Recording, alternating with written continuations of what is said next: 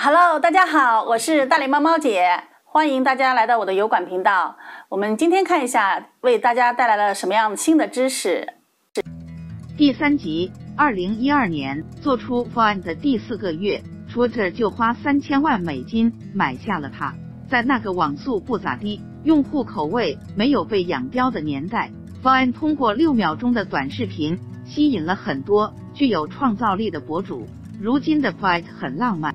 继承了 Vine 的六秒循环视频，最长可以上传十八秒视频，依旧是个小而美的应用。而 Zen 虽然利用爱贪小便宜的心理积累起一批原始用户，但这个功能目前已经因为争议被取消。它本身也在七月份因为涉嫌抄袭而被 Google Play 和苹果商店下架。至于 Instagram 在八月初刚刚发布的 Reels，更像是。直接模仿了 TikTok，没有在用户群体间激起太大水花。Instagram 是让用户去找内容，而 TikTok 是把内容带给用户。Verge 这么评价 Instagram 的平庸。如果将2012年横空出世的 Vine 视作短视频平台的起点，目前短视频的玩家都已经更新换代了好几波，更不用提他们的功能。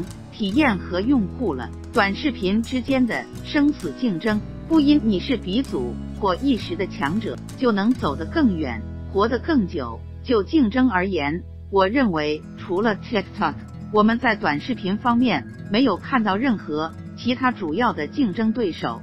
今年五月，欢聚首席财务官金兵说，Lucky 目前依旧在亏损，但欢聚的底气在于 Lucky 用户群增长后。可以通过直播和广告来提高盈利能力。考虑到这些市场的用户潜力和消费能力，Lucky 可以成为另一个类似规模的 Vigo Live。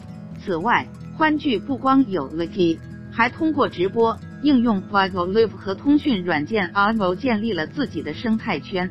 Q 二财报这么写：欢聚希望通过提供多样化的内容，精简产品形态，本地化拓展。加速建立全球生态系统。如果李学凌的这个生态故事可以讲成，Lucky 在美国市场的商业机会比其他应用要大得多。至少从这季财报的表现上看，股东们是认可欢聚的。五十八亿元营收和四九亿元净利润都高于分析师预期。财报发布后，欢聚集团盘后。股价上涨三六六百分号，全球化战略依旧坚定。TechCrunch 的一个科技博主曾在今年年初预测，短视频平台混战局面下，市场会被整合，像 TikTok 和 Instagram 这样的巨头将收购较小的视频平台。当时没几个人能看到政治层面带来的影响，这个远比商业激战更难预测的外部因素。现在已经成为高悬出海互联网公司的一把利剑。印度封禁了五十九款中国应用后，一家被列入封禁名单的公司让底下员工配合印度政府做了调查问卷。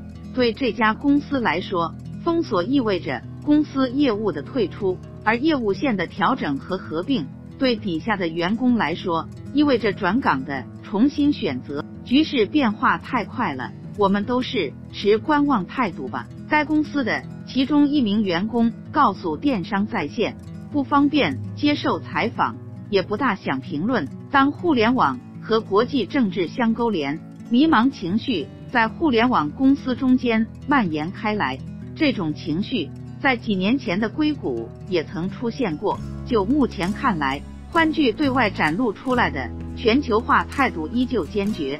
李学凌在财报中表示，尽管疫情爆发带来了宏观经济和地缘政治的不确定性，但欢聚对直播和短视频内容的全球前景仍充满信心。我们不仅是美国市场，我们对全球都是一样的，会坚持全球化战略，而且会继续往合规合法的方向走。欢聚集团对电商在线表示。阿迪的中国身份被发现后，曾对媒体表示，Vigo 的公司总部和数据都在新加坡，因此中国政府无法获取这些数据。但此前，为了消除美国政府的疑虑字节跳动也曾尽可能将 TikTok 与中国切割，TikTok 甚至表示愿意公开内容审核算法的代码，以自证清白。只是问题在于，政治在商业面前不讲道理。当互联网科技的铁幕落下，没有人是赢家。